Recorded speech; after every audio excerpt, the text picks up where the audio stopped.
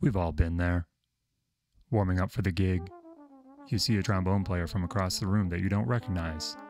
Oh, that's right. Somebody's subbing on lead tonight.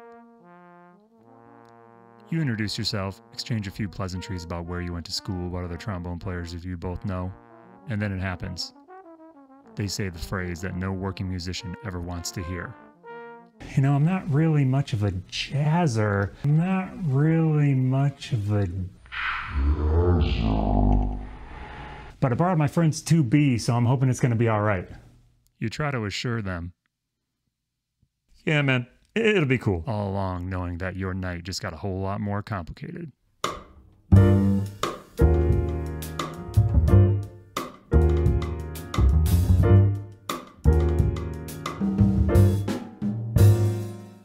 Okay, so what did we learn from our story?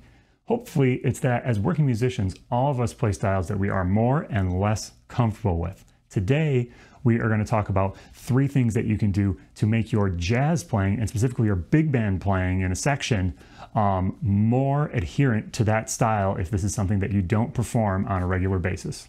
So before we get into it here, I do just want to point out that this video is not meant to kind of like vibe out people who are primarily classical or orchestral players um, who happen to be showing up on jazz gigs occasionally. All of us do this. We all play a variety of styles and we want to try to do the best that we can. This is only to point out a handful of things that we can do immediately to help play this style better. Surely if I were to go sit in an orchestral gig, I would be the one who would be offending some stylistic norms and would have to be really careful of those things. All right, the first thing that we can do, and this almost doesn't even qualify as a thing we can do, but more of an overall realization we need to make, is that the horn you are playing and the size of the horn you are playing does not matter. And I shouldn't say it doesn't matter, but it is one of the last things you should worry about. It is going to give you the last maybe 10 to 15% of the character of the sound that you're looking for. And yes, we typically think in an orchestral setting, we're going to play a bigger horn, and in a jazz setting, we might play a little bit smaller horn. But these are generalizations. And really, what you want to think about is choosing the instrument that is going to allow you to play in tune and allow you to blend with the section. Now, if you can't do those things, the size of the horn really does not matter. I would much rather play next to somebody who is playing on a big horn, but is playing really in tune and has good control of their tone so that way they can blend, than somebody who is playing on a horn that they barely ever practice on because they're not going to play in tune and they're probably not going to have a good control over the blend. And so you'll actually get better results if you stick with a horn that you feel comfortable on. Now, if you do find yourself playing quite a bit um, in settings where a small horn might be more appropriate, just make sure you practice on a small horn or a smaller instrument than you might play in an orchestral setting so that way you can feel really confident on both of those horns.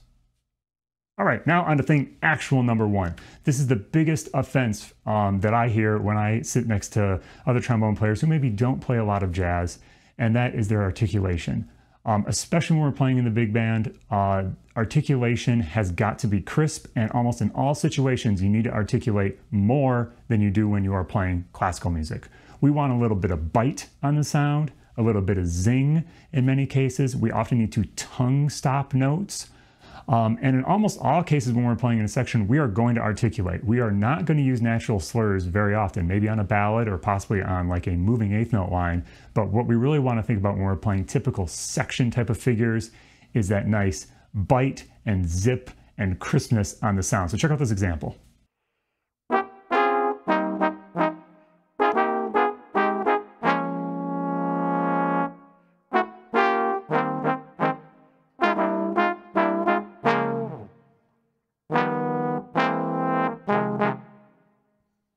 So hopefully you heard it all right there. Nice bite. Da, da, do, da, da. That's what we're looking for. We want to be a percussive instrument when we're playing figures like that. All right, thing number two that we can clean up immediately, that has to do with the inflections that we play as jazz musicians. This is scoops, falls, turns, all this type of stuff. Generally speaking, we want to use less of the slide and a little bit more of the embouchure to achieve these. Let's check out how this is going to sound.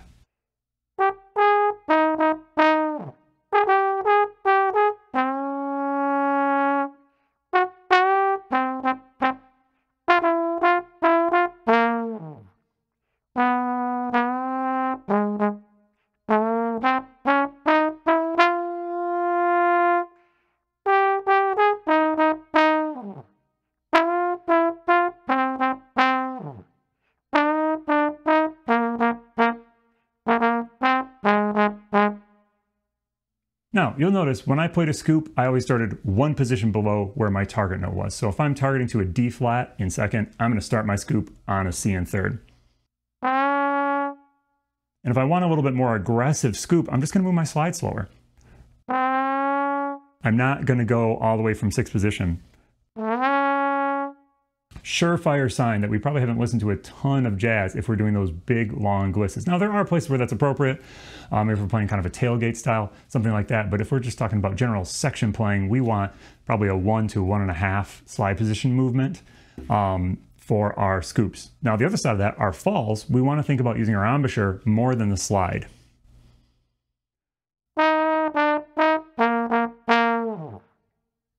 I fell through the partials. I did not use just a big gliss. That is not typically stylistically common for this style of music again when we're playing in the section. All right, the last step that we can take to help work on this stuff doesn't really have to do about what we do on our horn, but maybe a little more what we do in our practice and how we spend that practice time. You have to follow through on improving these things. I can't count the number of times that over the years, different musicians have said to me, Shawn, we should get together and uh, play some stuff. I'm really trying to improve my jazz playing. I want to be a little more versatile. Um, and I say, great, let's do it. Um, try to set up a time, crickets. Doesn't get back to me. Maybe bring it up again, Again, we just never get it set up. And while, yeah, everybody's busy, if you really want to consider yourself a versatile musician, you need to work on these things. I practice classical music every day. Even though I don't think I'm really all that great at it, I rarely perform it um, outside of a kind of commercial setting and maybe a pit orchestra or at a wedding. Um, however, it does great things for my playing. It helps my playing, and I just know I want to be that versatile musician. So if you really want to get better at this stuff and make sure that you are not the person on the gig who's causing problems um, in the section as far from a stylistic standpoint, you got to take it seriously and invest some time into getting this style together. All right, there they are. Three things you can do immediately to help improve your section playing when you are playing in a big band. Now, clearly there's a bunch of different styles. We've got to try to address all these things. I'm just here offering the information that I can as somebody who is primarily a jazz musician. If you enjoy this content, please hit the subscribe button, like this video. Um, new lessons every week, so please tune into those and happy practicing.